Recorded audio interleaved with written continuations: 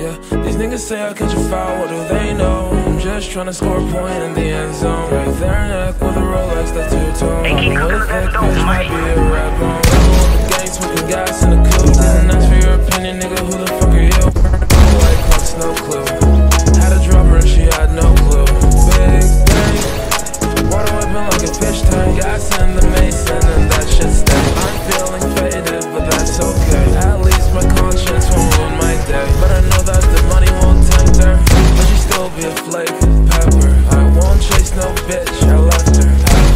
since last